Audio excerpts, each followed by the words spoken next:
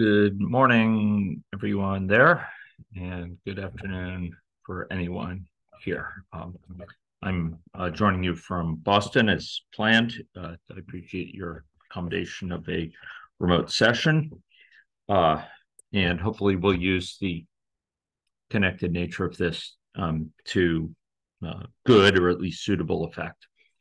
Uh, so uh, today we're going to be further expanding our understanding of some principles associated with compartmental modeling, system dynamics modeling with stocks and flows, and particularly going to uh, be applying that that uh, toolbox to continuing to apply it to communicable illness and, and contagion. Contagion is a topic which uh, has uh, prominence in the historic development of these methods. Uh, it was one of the areas where these sort of modeling tools were first applied in the sphere of health um, because of the nonlinearity we discussed last time and, and the, the complexity that emerges from them. The fact that when we're dealing with these systems that involve contagion, where the evolution of one person is affected by the health status, for example, or the behavior, um, the attitudes, the expressed comments of, of another, the knowledge, attitudes, beliefs of another. Um, we have behaviors that can uh, be quite uh, challenging to understand, and more importantly, yet to manage or or uh, control. Um, based on our intuition. And uh, we've been exploring this a little bit with the basics of compartmental modeling. Uh, last time we explored some of the math mathematics, um, the basic formulas involved in those. And today we're going to be expanding on that model. And I'd refer all of you to and request that you now open, download and open the model that we created last time um, for those who don't have it uh, handy, I'll uh, emphasize that it's located on the course site. Um, and uh, specifically, you can find it in the area of models built in class. I'm going to share my screen so that you can uh, acquaint yourself uh, with it here. Um, so it's, uh, if we go to the, the homepage here, it's down in this models built in class and it's the final one, CMPT 394 SIRS V1. And as you can see from the name, this model is, uh, well, it may currently be an SIR model, susceptible, infected, recovered. It yearns to be, to become an SIRS model. And we're going to be exploring the implications of that of a circulating population today, as well as introducing some additional idioms um, and exploring some a prominent feature of nonlinear modeling and these nonlinear coupling systems in terms of their behavior and possible behaviors. And we'll see before this session is out um, how these systems commonly exhibit not just one equilibrium, but multiple equilibria, multiple points where they're in balance. Some of those points of balance may be more desirable than others. For example, the disease free equilibrium, a case where we have no infection going on, the system is in balance, no recovery, no infection, no loss of immunity because it's disease free is one alternative health future, for example, one alternative state the model can be in. But there can be others where it's in balance too.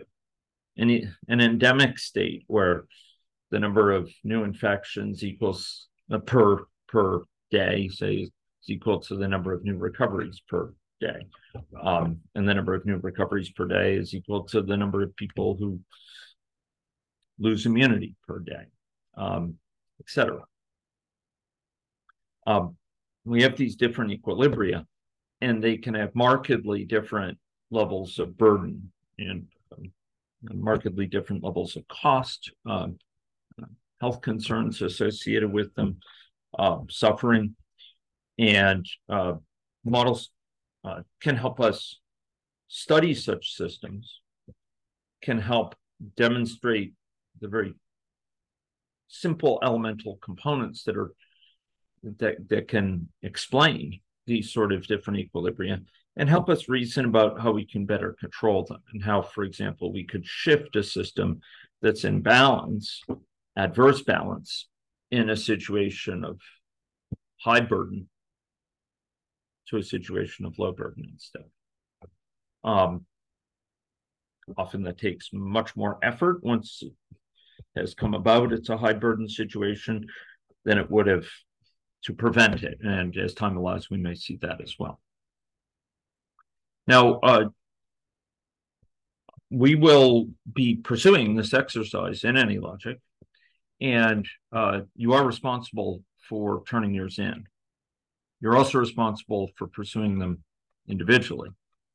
Um, so I've created uh, in Canvas a hand-in area uh, for you to use to uh, hand in what will be uh, exercise three um, for this. And um, you'll find that uh, again in the assignments area. Uh, excuse me, and not any, not generic exercise, in class exercise three. Here we go. And it, it's only fitting that it be the third. Okay. Um, so uh, this is uh, the plan for today. And uh, to facilitate that, I'd like to jump in here. Okay. Um, I'm going to see if I can monitor the chat window here alongside without occluding my screen too much. So I trust um, most of you have now downloaded this model uh, from the course site as stated and have opened it in AnyLogic. If you haven't, well, do so immediately. Um, there should be an expectation that we'll be commonly doing this. Um, now, I'd like you to save this model as version two, as we'll be substantively extending it. And you're going to help me, help guide me on the particulars of those extensions as your as befits your growing repertoire within stock and flow modeling. So you may recall that we have a simulation here um, that posits. Oh, oh, oh, so I must have must have uh, eliminated that. Okay, now we're now it's a happy camper. Um, so we're going to run this, and we're going to we have a simulation which posits a certain uh, certain set of assumptions about a set of particular quantities here characterized as parameters, contacts per day, transmission probability, and default recovery time. And uh, if we simulate that out, we can go and see the trajectory. And we've gone through this and some of the reasons for why we see these trajectories last time. Um, but broadly, we see um, uh, positive feedback, a, vicious cycle, a snowballing effect of the number of infectives. As one infective becomes two, becomes four, becomes eight. Um, by infecting susceptibles, that process goes on. It, however, it drains the the unburnt wood. It uses up more and more wood, um, so to speak, uh, within the um, uh, within the more fuel, more and more fuel. And as its fuel gets depleted, the efficiency with which infectives can infect, uh, infect susceptibles, uh, goes down. They have to work harder, as it were. They have to see more individuals to find that, to find those susceptibles to infect. And there comes a point where, at the tip of this this curve here, this infective curve, at the maximum, where two things apply. And you're going to tell me remind me those two things. What what applies at this tip of uh, the outbreak uh, curve, where the infectives is at its maximum, and it's essentially flat if we were to to look into it. Hey, okay, no, I just scrolls it out. Um, uh, is different from the one I'm using. Okay, okay, well, that's uh, mighty helpful to understand. I will remedy that uh, forthwith. That's um, puzzling, but uh, I appreciate knowing about it. Uh, doesn't uh, include.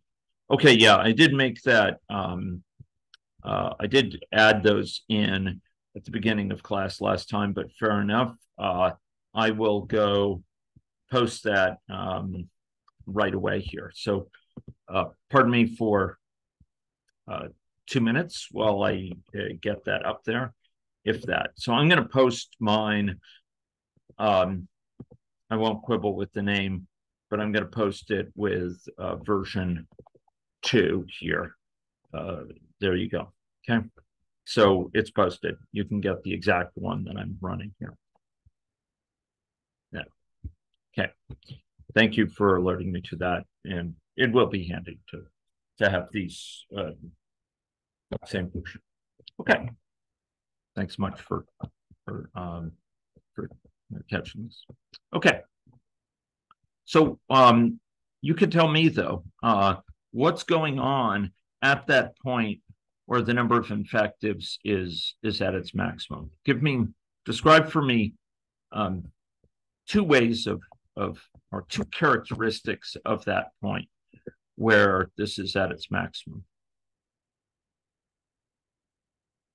Other than it being maximum. Yes, the inflow of infectives, it's this one here, equals the outflow. So that's recovery. So number of infections per day. Remember, these are per unit time rates. Yep. Um, equals the, the rate of recovery and the number of people recovering per day. So that's one characterization. That's kind of a collective characterization that abstracts over the um, the details of a particular person's experiences. And Teague mentions derivative goes zero. That's also true. Um, the by definition, a derivative of this of the stock of infectives per unit time is its rate of change, how quickly it's rising or how quickly it's falling in its value. If this value is a thousand, but it's going up by five people every time unit, um, then it has a derivative of five. If its value is going down by five people uh, per time unit, per day, say, it has a derivative of minus five. That's what derivatives mean, right? Rate of change here per unit time. Second derivative is negative too. That, that's true. That's true. Um, uh, the it's it's not just that uh, at this point the derivative is uh, first derivative of infective is zero. The second derivative, the rate of change, the first derivative is negative. So the first derivative is going down. It has been positive. Here it's zero and here it's negative. But I like what Tyler's saying. Tyler, I think, was anticipating my comments. Not, my, I might add, the first time he's done so. Mm-hmm. Um, and uh, and here the effective reproductive number is one. What does that mean that the effective reproductive number is one? Can anyone unpack that into to a term that you could use to to sort of explain it a little bit more to a child? Yeah, maybe not a baby, but a, you know, 12 year old or something. One effective infects at most one. Well, actually, at that point, it's the effect one susceptible, and it's not per day. Mm, it's not per day. It's over the what? over the course of their illness. That's exactly right. Over the course of the illness. That's what the effective reproductive number of X means. It means a given infective will infect over the course of their entire illness before they recover X people. So if they infect one person over the course of their illness, remember I gave the analogy of passing the baton. It's like they replace themselves with a designated single person, right? And so it neither the number of infectives neither rises nor falls. They've just replaced themselves. It's like a chain of infectives, one giving it off to the next, and and you don't have you don't have increase in the number of infectives or decrease. Mm. Um, yeah, it's over the course of illness. Good, Rachel. That's exactly. Okay. So that's what we have here. Um, now, the number of recovered is going up. This will relate to something that that we'll come to in a minute. Um, why is the number of recovered just rising here? Why is it simply rising up? There's no outflow out of the uh, recovered stock. Precisely. There's no outflow. Was that uh, Nicholas's voice I heard? That's correct. Okay. Um, uh, good. What I lack in face recognition, I sometimes make up for in voice recognition. Um, so uh, recovery here is the sole flow incident um, uh, into recovered. So there's an inflow, but there's no outflow. Mm-hmm. So this is accumulating the number of recovered people per unit time. Okay, now I want to draw on that principle just a little bit more for our first modification here. Okay, um, I'm going to save this as version three just to prevent um, confusion here. I'm going to start working on it. Um, so suppose I wanted to record here the cumulative number of infections that have occurred, the total number of infections that have occurred thus far. Some of them may have gone on to recover, some may still be infected. How could I do that? How could I record the number of infections that have uh, occurred to this point?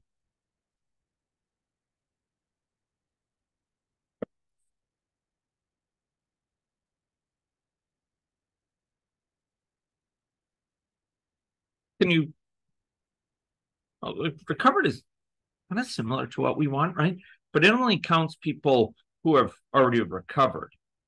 Um, it accumulates the number that have gone through recovery. Suppose we wanted to accumulate the number that have gone through infection. How would we do that?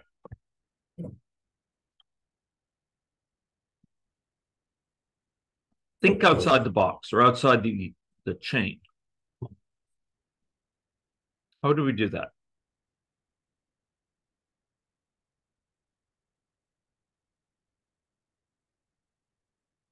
Okay, you could. That's one way of doing it. You could add the number of recovered and the number of infected people, and I don't dispute that. As it turns out, um, that would work now. It's not going to work where we're going, but um, it would be a, a fit for tap, fit for purpose task at the moment. But can you can you come up with an, another strategy that draws on the techniques that recovered is used to to accumulate the number of those who have gone through recovery, what could we do? Anyone have an idea? Think outside the this this sort of chain of stocks. What could we do?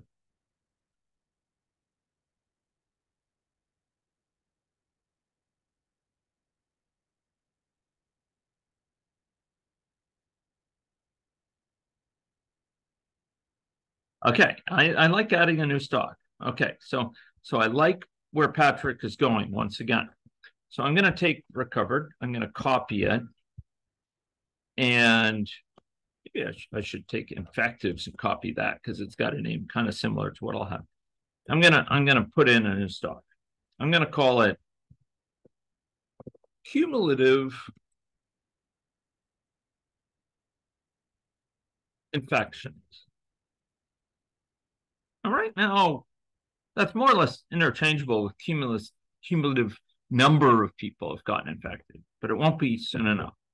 So I'm engaged in some malice of forethought, designing my strategy here to to kind of handle handle the case. So so we have a new stock. Good start. Um, and then what do we do? It, it, so Patrick wrote, um, from susceptible to a cumulative infective stock. So, so this is a basic good idea, but you got to think a little bit outside the box. So we've got a stock. Mm-mm. Now that stock is going to do nothing unless there's some action associated with it. It's captured by a what? What captures actions in this? A flow, indeed you speak well, a flow. Um, uh, he also speaks well. So, so whence does that flow come, and whither does it go? Or, to use more modern English, where does where does that flow come from and go to? I'm outside of Canada right now, so I can depart from the Queen's English without without uh, worry, although with some discomfort uh, from infection flow to cumulative. Okay, so you're getting the basic idea, but uh, uh you're getting some ideas. Okay, so so let's let's think this thing through. So you, you've got you've got some relevant ideas, but it's just not fully formed. The cake is not fully baked. So if if it went like this, what what's the problem with that? What's the problem with this? Well, let's I can put a formula in there, but but what's what's the problem with this? Yeah, they need to go on to recovered. So you can't like you don't want you don't believe me, you don't want to do that. Take it from an old man. Um either you clone or use a statistic. Ah, that yeah, you're you're I like you're talking though, you're thinking about like discrete event simulation, agent-based modeling, having repertoire is good, but this isn't how you do it. There's actually a much easier way. It involves thinking outside the box here. What could you do? Okay, delay between cumulative and recovery. Uh, no, you're you're overcomplicating it. You're, you're making this. No, you, you, don't have to copy people. Uh, um, okay, can we have a link? I, I, I thought I saw maybe a, an inkling, a link that adds the infection count. Okay, there's some good ideas. Do we need a dynamic?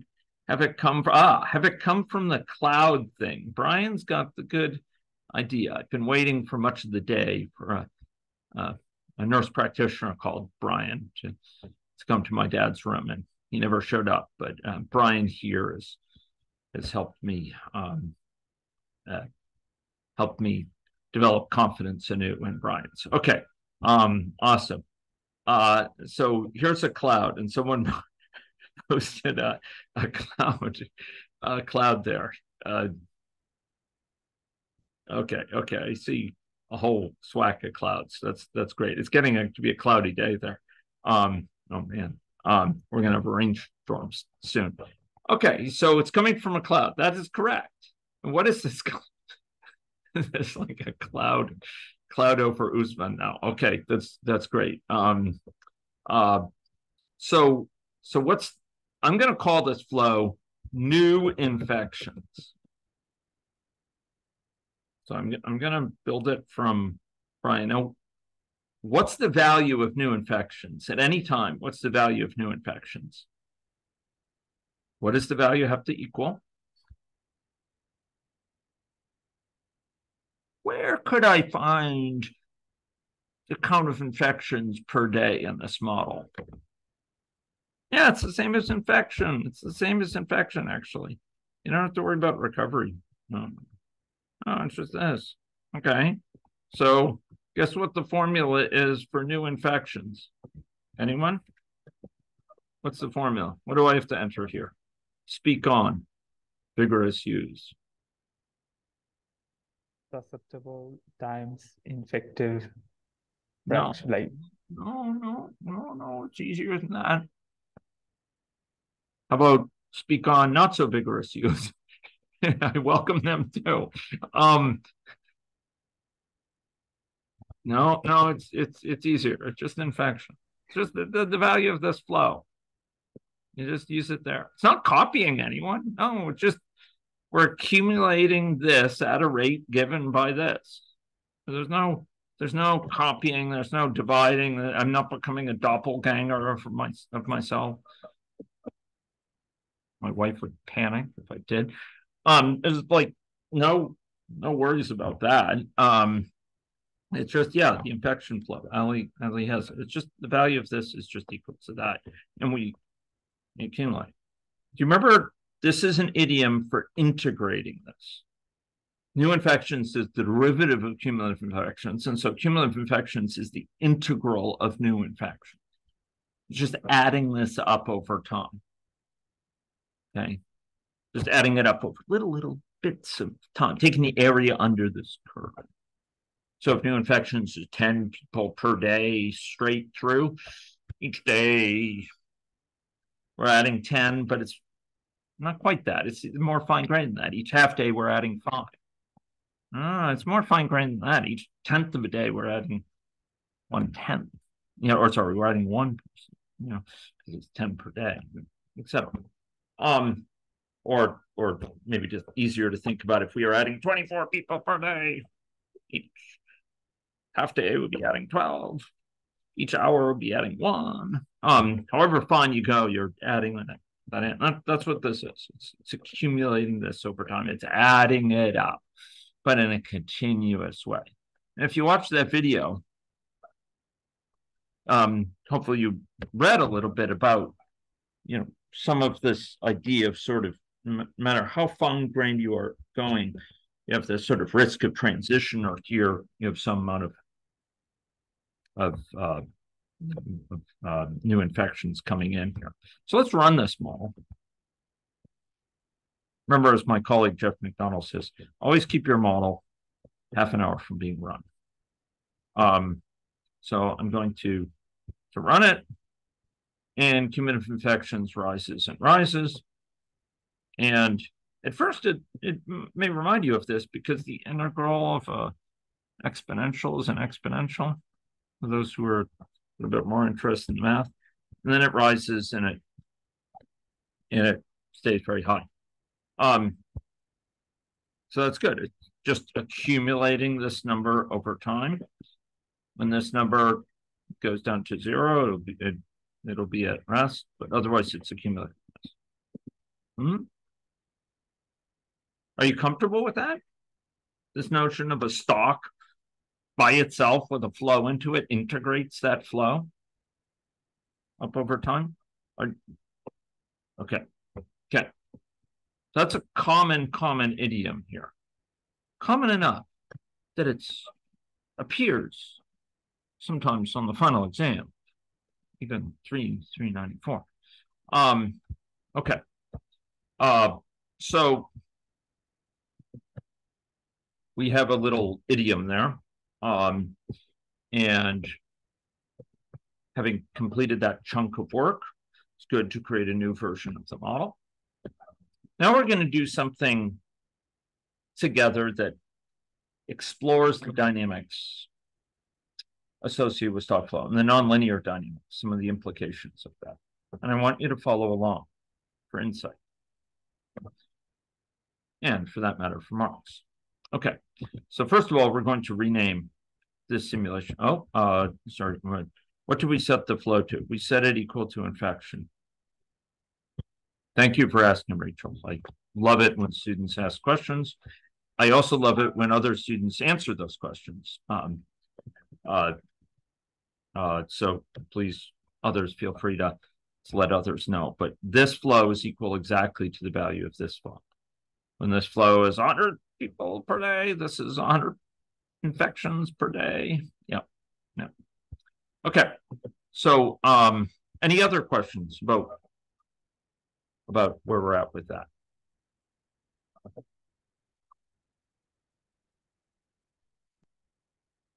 Okay, so um, okay, so we're going to go to simulation and we're going to rename it to baseline. Okay, there we go. Um, this is our baseline. This is our reference scenario. This is a scenario against which uh, results of other scenarios will be compared. compare against a common baseline. So just like you need a meter stick, or here in the US, it's a yardstick. Um, for weird, weird reasons. Um, uh, we we have a, a standard of measure against which we can quantify things, compare things, for example. Um, so it is with our baseline. Now, I'm going to lead you through a, a, few possibilities here. So I want to use it to, to help you exercise your thinking about this system. Okay. Um,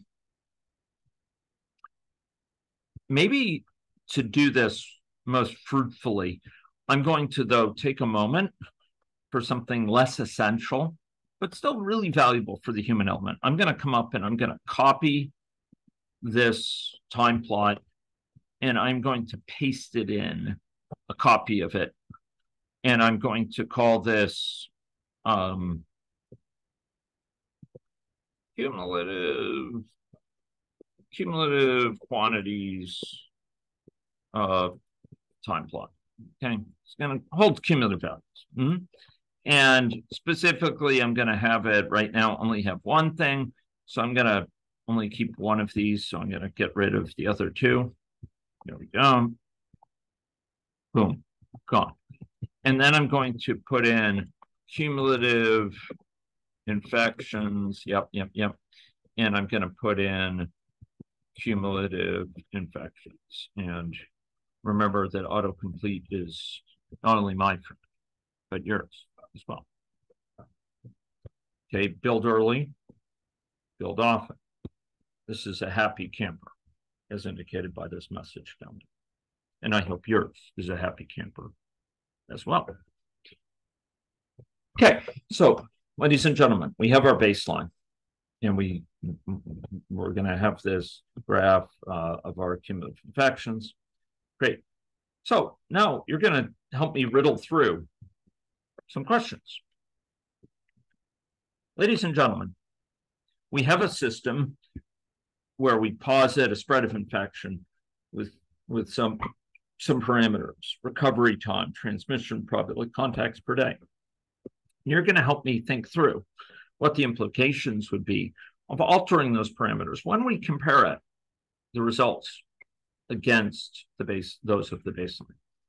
Okay, so we're going to take this baseline and we're going to copy it and we're going to paste it. Why do I do that? Well, sometimes I set some other settings in there. I don't want to have to go back and futz them like stop time of the model. And and that happens to be um, uh, oh, you know what? I probably should have funny funny i mentioned that um let me let me delete this one i created and yeah I, I should have done that before but better late than ever and i've often observed better late than never as well so we're going to stop at the specified time and the specified time will be uh 100 um, stop time uh, 100 and it's time unit you may recall here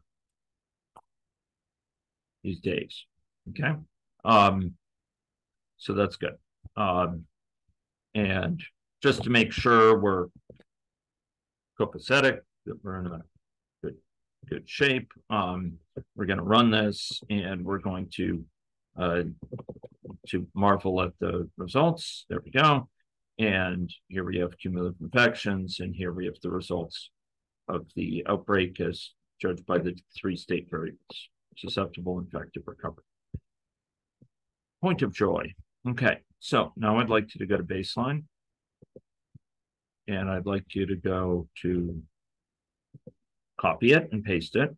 How did I do that? I right click, copy, went up here uh, on, clicked on the model and chose paste. Here's baseline. I'm going to change this instead. I'm going to um, ask you what's the effect if we uh, uh, have so uh, contacts um, contact rate. So suppose we engage in some reduction of contact rate. What sort of what sort of real world actions commitments might we take to reduce our rate of contact. Um, I'm not saying it has to be they'd always secure 50%, but what sort of things might help us reduce our rate of contact? Okay, uh, masking uh, it could be argued. We'll come back to that. Social distancing, having a lockdown, working from home. Uh, yeah, okay, okay, good. Staying at home. How about um, people isolating or, or quarantining if they think they might be exposed, right? These are all things that might lower the contact rate between susceptibles and infectives, for example. We're going to halve it. And, and often, you know, to, to develop our thinking, to sharpen our thinking about models, we make use of some simple assumptions to start. We might get into more, uh, more detailed ones later. I, I, welcome all the comments and I, I, am noting um, uh, the many voices who are speaking up, and I'm appreciative of those voices. So I've changed the contact rate to halve. And for those who who who, like to understand um, this particular package more, you notice it highlights a departure from the default values as specified by each of these. Um, so I changed from 20 to 10. 20 was its default value, and I changed it to 10. And now it it highlights that it is changed. Um, AnyLogic is not letting me copy the baseline model. Okay, um, uh, that's uh, interesting. Um, you might want to, okay, there's two options. Rachel, I would suggest just because we didn't change much from the baseline, if you do new, if you go up to the model itself and you do new experiment and just name a new experiment, just be sure that you go down in the model time area and uh, and then uh, set it to stop at specified time 100 precisely what uh, is uh, suggesting. Xi Shuhao. Okay. Yeah. Um, okay. Um, keep on having them error. Uh, no, it's it's not. Um, uh, it's not not normal to have an error in the bottom of the screen. Um, maybe Patrick, you could converse with one of our stalwart TAs. I see that at least way this year. Um, uh, and uh, if you could um, interact with one of the TAs about this, you might be able to quickly squelch the matter. Um, perhaps even send him a screenshot of your problems window. When when your model uh, encounters problems in the build, it will often summon summon up a um, ah Jenna is here the the the we have this incredible uh, set of modeling resources uh, arrayed before the students, and so you can interface with them. Um, uh, so so if you were to view the problems window, sometimes it's shown. Sometimes even after the the the fixed an error, there's a little red marker that says I'm confused. Yeah, yeah, this is a, a known defect. It's a known shortcoming, known limitation of AnyLogic and it is unfortunate, but persistent from version to version. And I regret it that, that you too are subject to its indignities. Okay, so we have the contact rate. So what's the effect? Okay, so I, I have this contact rate. I, I divide it by two from 20 to 10. What's going to be the impact on the dynamics? What do you think will happen. We saw the baseline dynamics. It was, it was, you know, uh, one that we explicated together in class during our previous session, and uh, and excuse me, my my computer is exhibiting um, um, lower memory here, and it is uh, becoming slow. So I'm going to need to take evasive action and and um, uh, address this uh, this computational dysregulation. So, pardon me for just um, just a moment while I deal with this. Uh, um, while I deal with this matter. Okay, so uh, yeah, so force of infection will be half of what it is. That's that's that is correct. Uh, Looks uh, like um,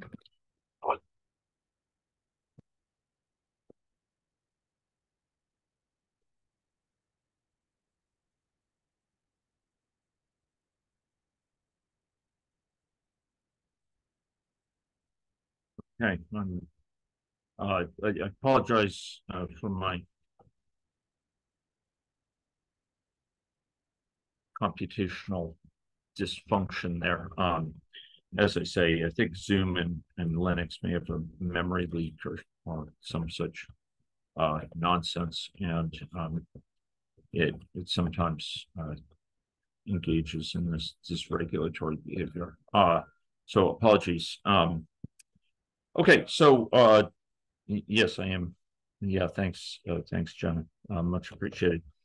Um, so uh, I did pose a question though, and hopefully uh, you have in my uh, absence uh, enjoyed the the pleasure of my absence in pondering that question. So uh, does anyone want to uh, offer some interpretation? What would the impact be? Yes, it would lower the force of infection, and that's a good insight. But how else would it affect things in terms of the dynamics, the behavior of the model over time? How else would it affect things um, to lower the contact rate? Okay, so I see Rushil um, um, puts forward a narrative here. Uh, having the contact rate means force of infection is lowered, number of susceptibles decreases at a slower rate. Okay, I like this. Since um, prevalence of infection equals infection divided by population size, and infection goes to zero, not all susceptible become infected. Well, okay. Um, let me ask this. I mean, in the baseline, in the reference scenario, did all the susceptibles become infected?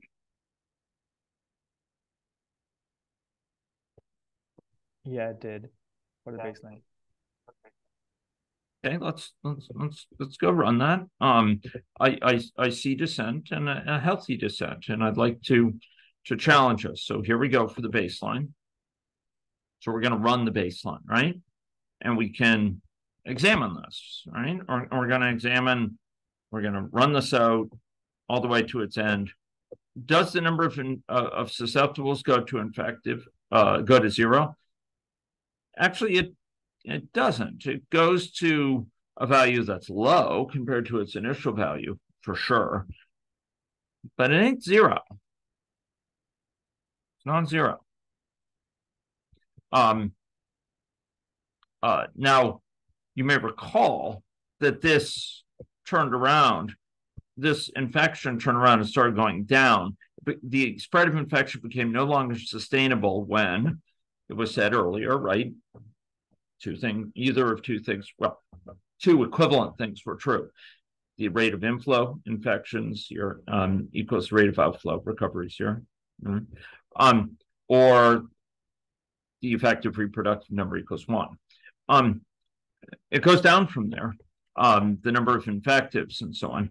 Uh, but the number of susceptibles is not, it's not totally consumed. And, and um, uh, we could, we could uh, get some insight um, into this by running this scenario. So I would say that well it's a good idea to say that it doesn't won't drain all susceptibles. That's true and i like that insight.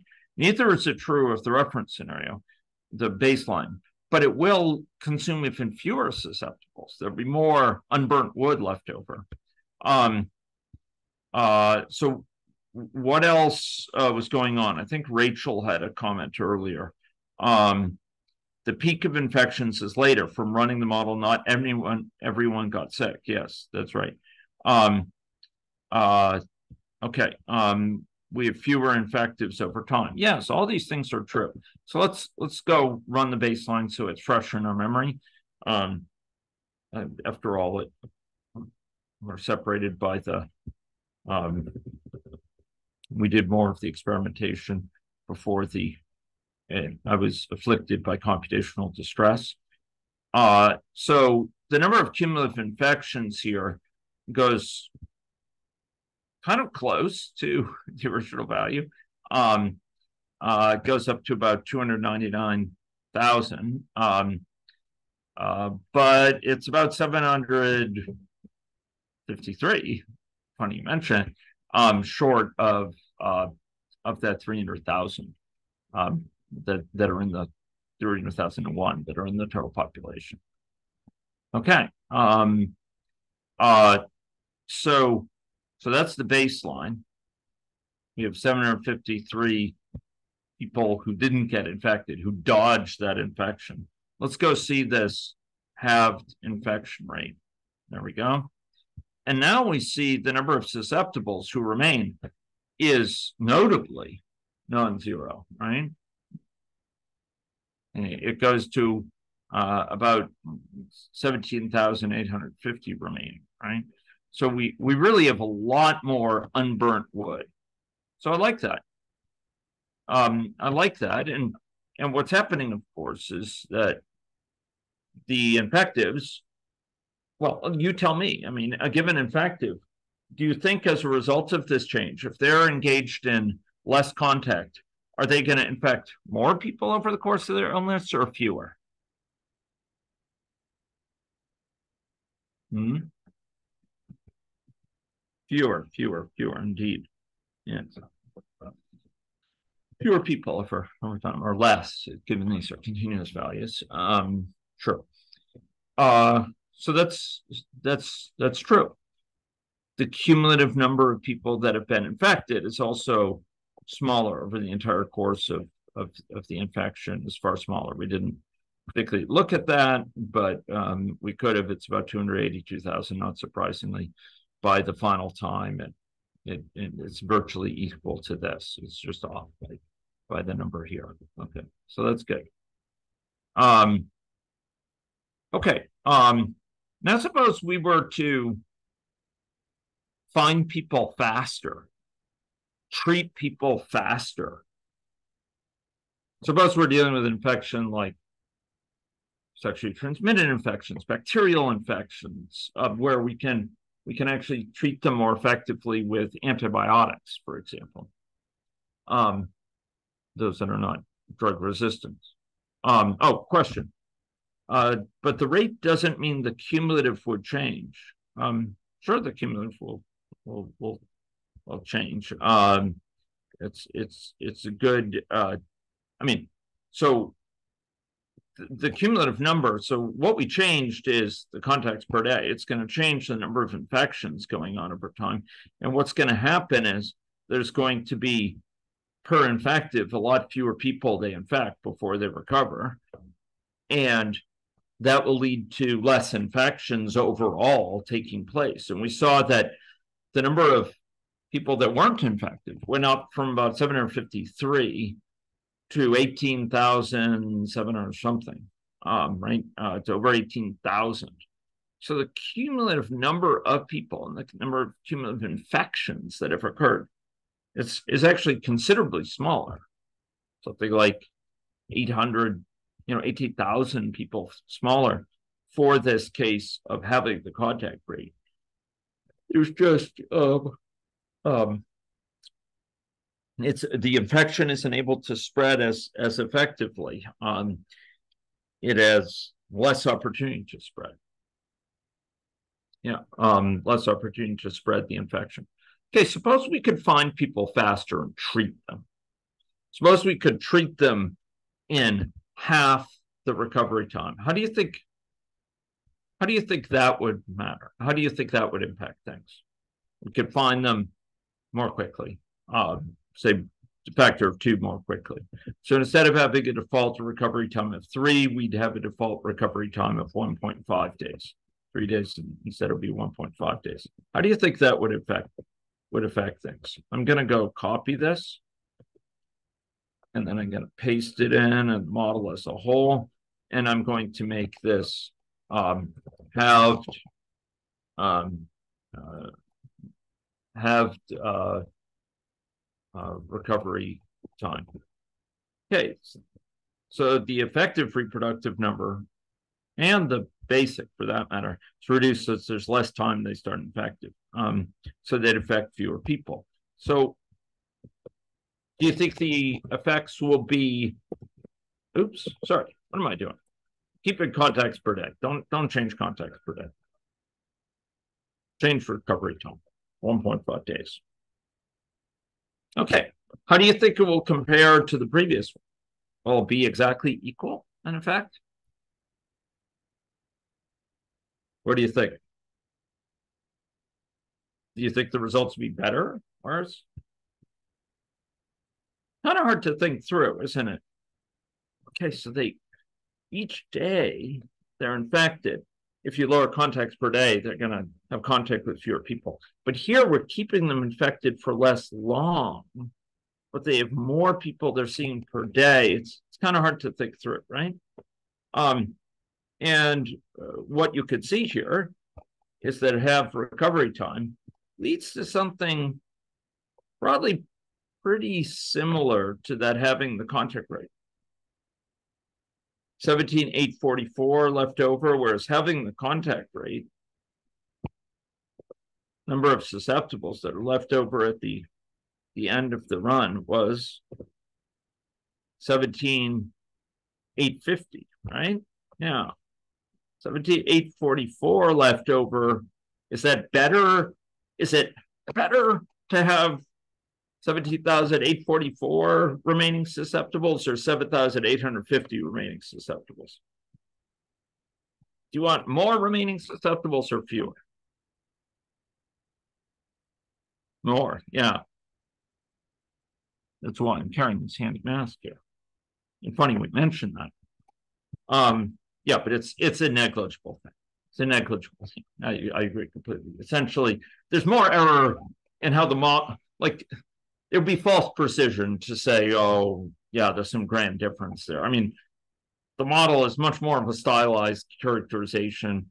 The the issues associated with the model's level of of quality of representation of situation way more than dominate that small difference. So it would be false precision to say it's you know, really that much better. You know.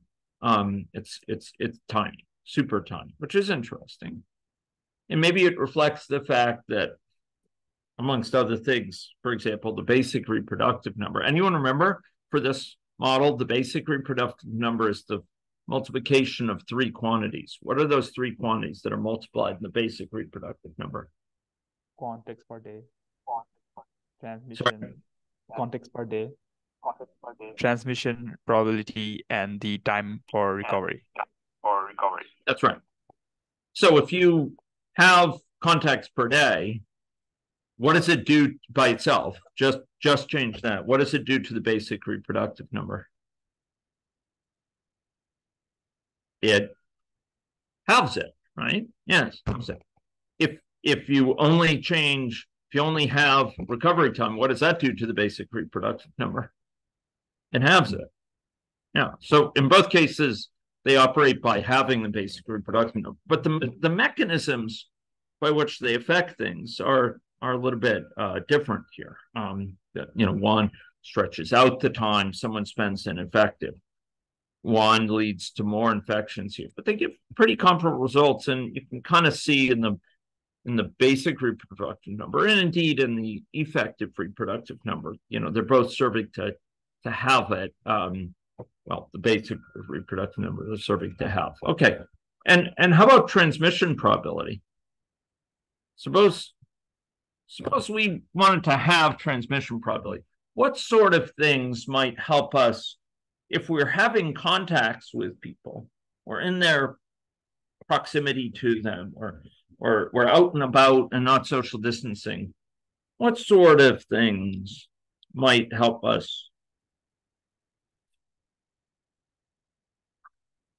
yeah, yeah. Okay, so masks. Um, transmission probability can. Yes, that's right. Yes, um, the N95 mask. Yes, indeed. Um, that's right. So uh, I know it's not Halloween, but I like masks. Um, so um, uh, yeah, so uh, so masks um, masks are one thing that could lower uh, greater ventilation right? Uh, faster ventilation is another thing um, that might help vaccination of one person could help lower the chance they they uh, transmit it given given the contact. Well leaving the country is more something that affects through contacts right? Um, uh, it affects through through their contacts. Um, uh, that it it's mediated by contact. I'm talking here about things that are mediated through the pathway of transmission probability. Okay, so we could we could go and we could copy the baseline and we can look at transmission probability, having that. But I want you to reason about this model. Um, so I'm going to say halved, halved um, uh, transmission probability. So that's the probability per discordant contact between the disc uh, uh, contact between a susceptible and infective uh, that infection will actually be transmitted. So if I reduce this to 0.05, I would argue that given the design of this model, it, its effect is going to be the same as having contacts per day. How do I know that? Precisely. And why do we know that? Why, Hamid?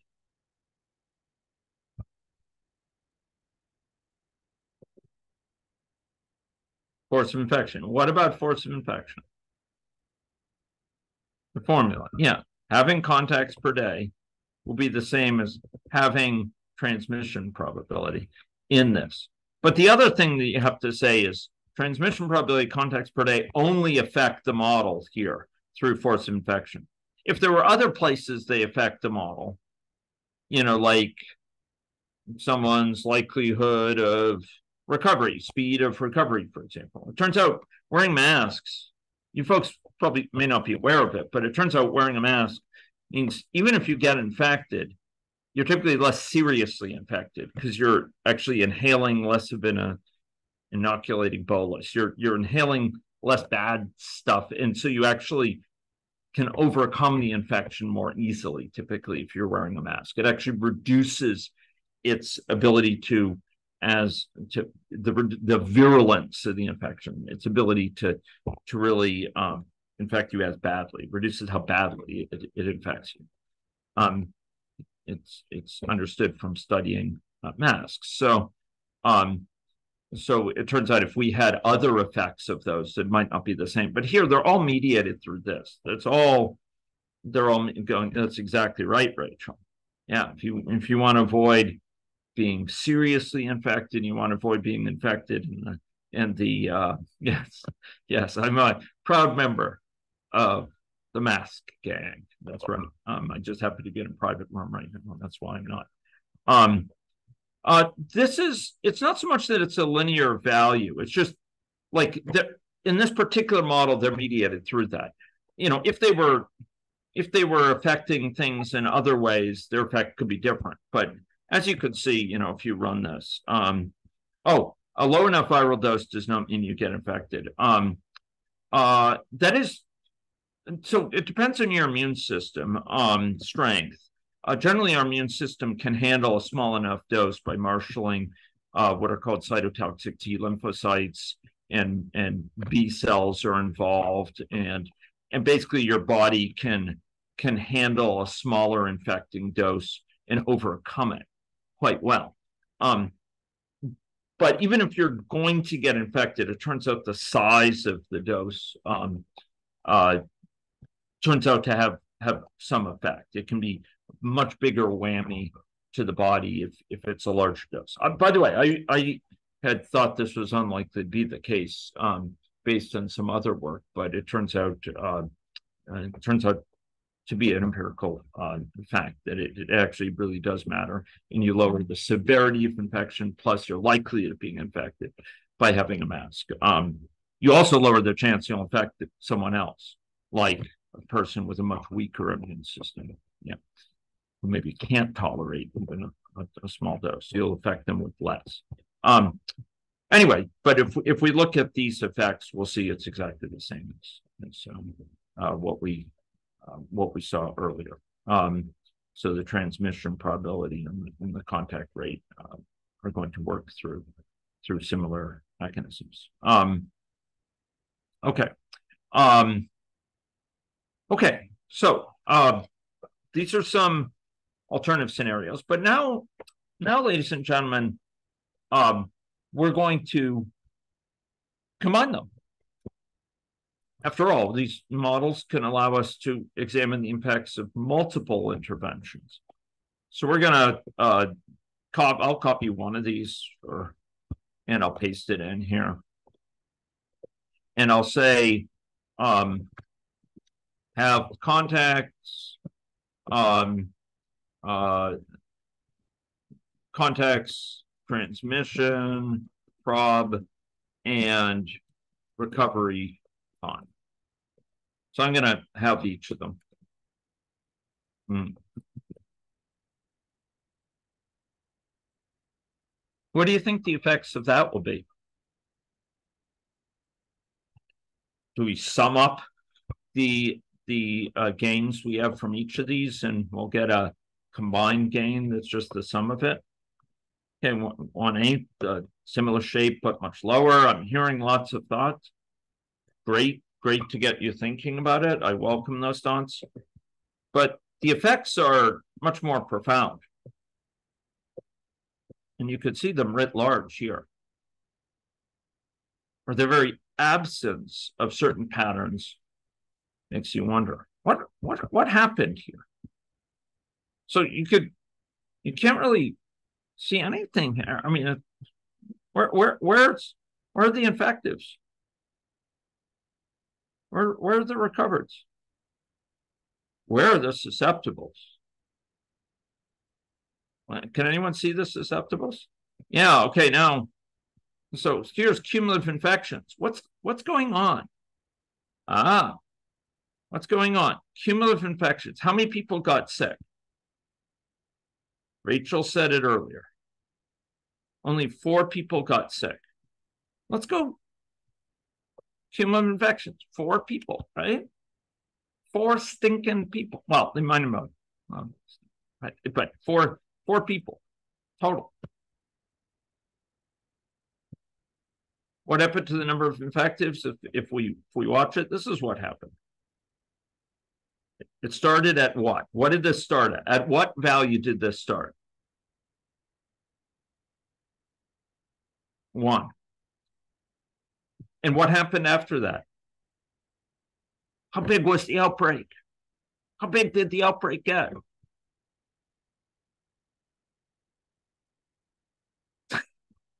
well, okay that's a bit overly dramatized, Usman, but I, what you, uh, what you lack in in, in um, uh, fidelity to the, to the situation you make up for in poet poetry. Um, yeah, so the infection was stopped before it got going. The number of people who were infected actually dropped over time. Poor people did get infected. It's not. It's not that it didn't spread at all. It spread, but only to four. There were, but essentially, the number of people infected went down monotonically. It dropped. For the baseline, did it rise? Did it did it for the baseline? Did it drop or did it rise initially? It rose, and how? It doubled, right? One, one. Well, yeah, it, it rose and and then it dropped, but um, um, it rose and, and doubled and doubled and doubled and, and and successively rose higher and higher and higher, right? I mean, that's what this is is about. I mean, it it just built on itself and built on itself initially, right? Um, yeah. Ladies and gentlemen, we reached a tipping point we reached a tipping point where um, by having each of these, each of these values in turn, um, all three of them, we get an effect totally different, qualitatively different from what we see with each of them. Some of here is, you know, the, the whole is greater than sum of the parts, it's, or different than sum of the parts. So you have each of these you can get an effect profoundly different, qualitatively different, totally different than what we see by having each of them. It's not just the sum of the benefits for each. No, no, no, no. It changes qualitatively. Really, the number of people affected just goes down from the get go rather than taking off. It's stable. It brings itself back into stability rather than being able to take off. Now, does anyone remember for this, what's the basic reproductive number?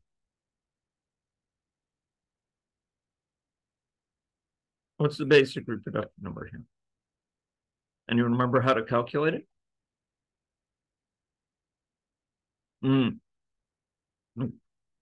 Okay, well, okay, but for the baseline, it, it, so that's true, Mark, and it's very insightful. But, but yeah, so it's multiplied. So give me the value numerically.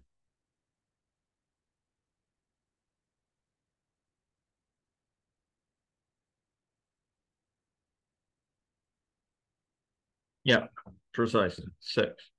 Six. What is it here?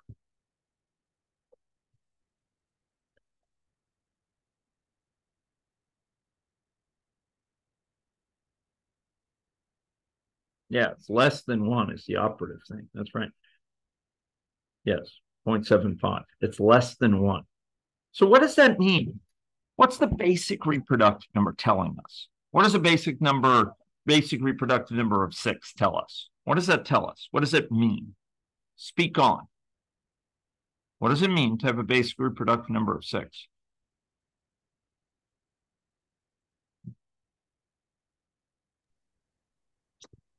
I'm guessing. I like. I'm guessing. Mm-hmm. Please. Yeah. Yeah. First infective infects six people before they recover. Well, yeah, it's it's actually for the basic reproductive number, it's the first person in the population. Surrounded by what? Surrounded by a sea of what? Susceptibles, darn right. Yes. They infect six people. That's what the basic reproductive number is telling us. How many people don't infect they're surrounded entirely by, by susceptibles? Meanwhile, how many people will they in, and and and by the way, those each of those six people they infect Well, then infect a bunch of their own, maybe not quite six, because now there there's some people around them that have already gotten infected, but it'll be pretty close to six in a big population. And then those will each will be quest six, or something close to six, but it will be going down. They'll each be ref- infecting fewer, able to infect fewer and fewer until at that key tipping point of which Mark spoke, they infect what's the key tipping point where they infect how many people before they start before they recover? The key tipping point is what? When they infect one, one person. Because they can barely replace themselves, barely find someone who can assume they can give infection, bequest infection before they recover. But with this latest scenario, what's our basic reproductive number?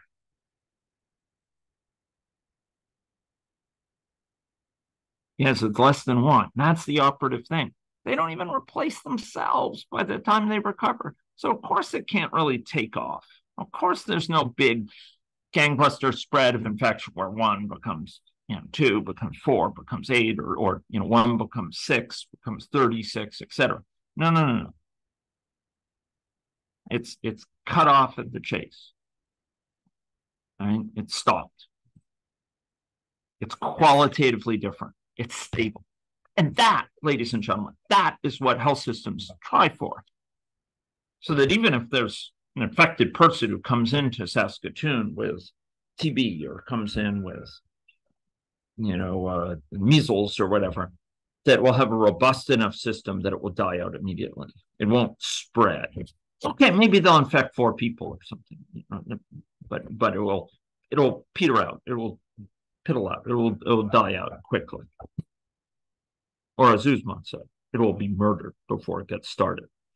I prefer a less violent analogy, but um, some that may stick in some people's minds. Okay. Um, so yes, so initially if R naught is less than zero, the inflow will be less than the outflow. That's right. That's exactly right.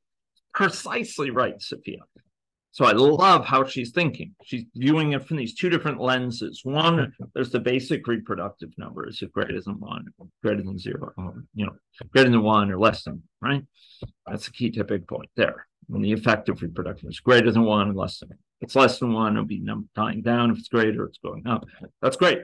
But then think about it in terms of inflows, outflows. Well, what's going on with inflows, outflows? If the basic reproductive number is less than one, it means the outflow will be greater than the inflow.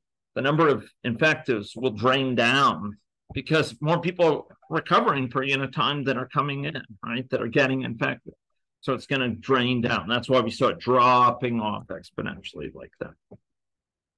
So uh, R0 is always decreasing with models. It turns out, I welcome that question, but R naught is only defined at the current at, at the at the initial time of a model. It's only defined in this initial state where everyone is susceptible except the single indexed infected. So you can't really say it's always decreasing for all models because it, it now the effective reproductive number can be decreasing, but not always. And for that, we'll use our last five minutes with your leave. Okay. So let's let's address Mark's question, and let's pursue let's pursue this with uh, with speed and swiftness and strength. Okay. Um. Uh. Okay. So, uh, is it only increasing because we don't have more recovered? Ah, yeah, becoming susceptible. Um. Uh, darn right. And Jonathan um, enjoys uh, reason to recommend him. Yeah, that's that's exactly right. Okay, so ladies and gentlemen, we are going to have a loss of immunity. And I want you to tell me, how would we characterize loss of immunity here? Anyone? What do we need to characterize a loss of immunity? Speak on use. Yeah, flow from recovered to susceptible. Darn right. Okay. Um, and we're going to add such a flow, okay? Um, and uh, we will go to our flow, and, and I think I'll save this as well. I already saved it version four earlier, and I'm, I'm going to be adding this, okay? So it goes from recovery all the way to susceptible, and there we go. And um, okay. Okay, here we go. Okay, great. And this is going to be called um, waning uh, uh, of immunity. Okay, we talk about how immunity wanes. The dynamics of immunity are fascinating dynamics. We have an internal individual healthcare health system that also protects us. Public, it's not the public health system, it's a kind of individual health system. And it has very rich dynamics associated with it. We build up immune memory in response to infection, and then it dies down, and then we get vaccinated and it boosts it. Um, and and then it dies down and we get exposed and it can boost it some and etc. And and it's more complicated than I'm letting on, but it's uh, it's very very rich, and studying it gives some insights. We particularly want it to work in concert with and in tandem with, not at cross purposes with the with the public health system. Um, okay, so we're going to quickly put in a parameter that's called um, mean duration of immunity. Mm, um, Incidentally, for COVID, there's a lot of discussion what this is, and it's quite a bit of uh, discussion of, you know, is it less than a year or greater than a year, et cetera. Um, we're going to make this uh, a year, okay? Um, 365 days, right? 365. Um, okay, I'll say 2425. Yeah, sure. It, that, that's false precision. Um, sometimes I like to have. Okay. Um, so it's it's one year worth and uh and here we go. Uh and you're gonna tell me uh so this waning of immunity depends on mean duration of immunity and on recovered. And you're gonna tell me the formula. Mean duration of immunity is a time, recovered is a stock. So what's the formula of waning immunity have to be? Recovered divided by waning Sorry, recovered what? Divided by, recovered di divided by mean duration of immunity. Exactly. Exactly. Mean duration um, of immunity. There you go. Okay. How do you think this will change the dynamics? If we have if the ability for people to lose immunity, how do you think it will change the dynamics?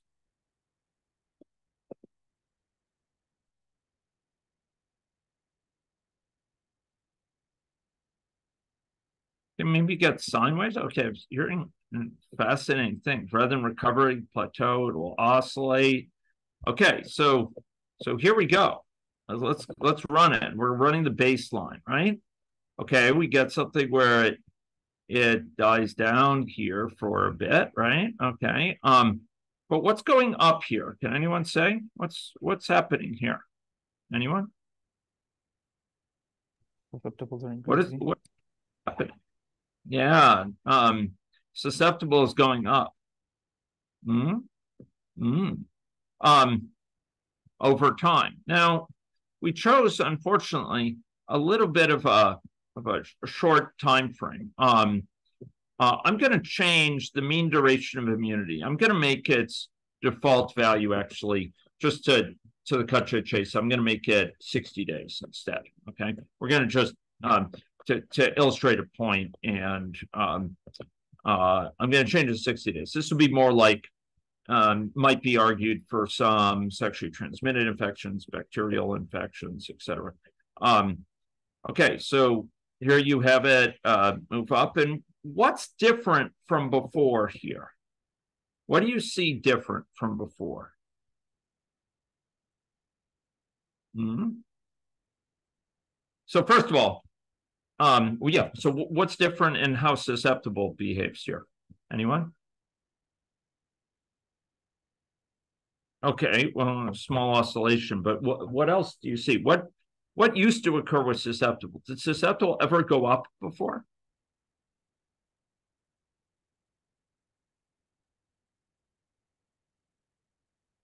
Well, it says transition from recovered to susceptible. I'm, I'm saying compared to previous though, without any loss of immunity, without any loss of, of waning of immunity.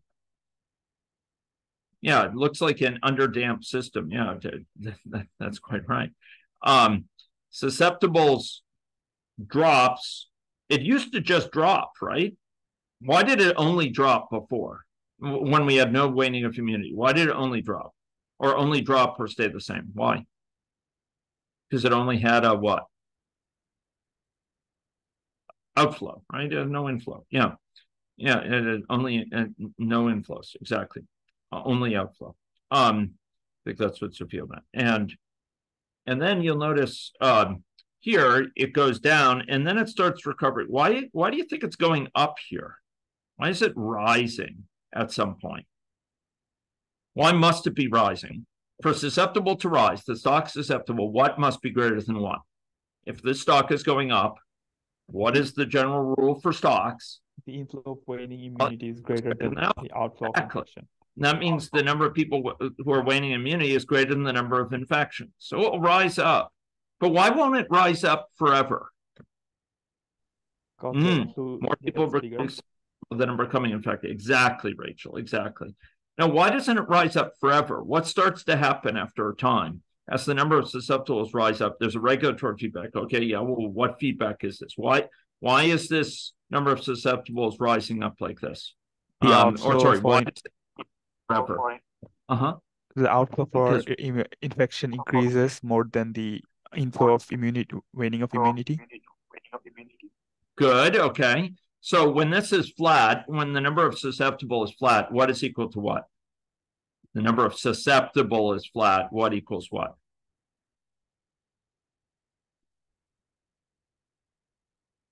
And yeah, so so infection equals wane, exactly. Um, the inflow equals the outflow, right?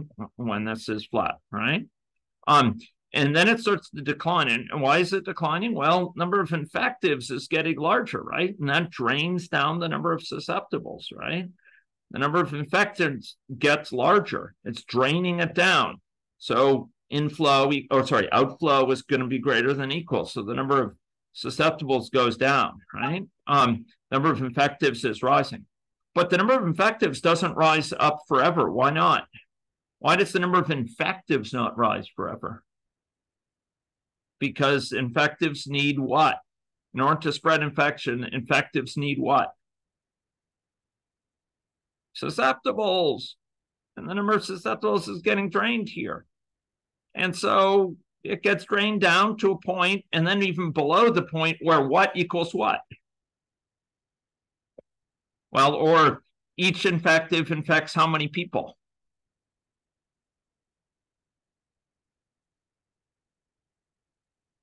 Infectives will rise as long as each infective infects more than what number of people? Infectives will rise as long as each infective infects more than one person, right? But at some point, the number of susceptibles, it's so hard to find susceptibles, you're not able to do that. And so the number of infectives, the number of people each infective infects goes goes down to one. And the number of infectives keeps on dropping some because they're still infecting them faster than they're waning uh, into the susceptible state. So the infect, so the number of susceptibles goes down yet further, and infectives drop because they're not able to even replace themselves. And it goes to an equilibrium where, guess what is the case? What is the case at this endemic equilibrium where it stays in balance, where it's it, it the system is in balance? What equals what? If all stocks are in balance, you notice all of them are in balance. All of them are not changing here, essentially. I mean, we could run it out a little bit more for them to be totally in balance. What must be the case for each of those stocks?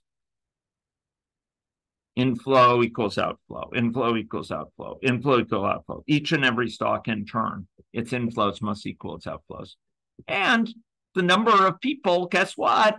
If, if the number of infectives is, is staying constant, the number of people that each infective infects, the effective before they recover, the effective reproductive must, must be what? For the number of infectives to stay constant, one, one. It's at this endemic point that each person is handing it off to one other person. The system's in this balance where the number of susceptibles is such that each infective can't infect more than one.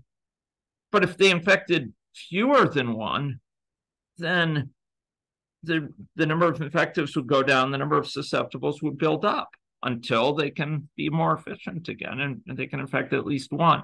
So it's in this crafted balance that's all we have time for today. You folks have to get to other classes, uh, probably some of you, and I appreciate your attention. Normally I have office hours, uh, but I've got my family duties uh, today, and uh, I'll apologize for uh, not being able to offer them today. I will be trying to make uh, an office hour session happen on Thursday or Friday if I can. Thank you very much, everyone. Thank you for bearing with it. Please hand in your models um, to the uh, to the uh, take home exercise three. Uh, I think I set a deadline of, of 4 p.m. if I'm not mistaken, but but make sure because I said it Eastern time, make sure that it's 4 p.m. Saskatchewan. Okay. Um, wish I could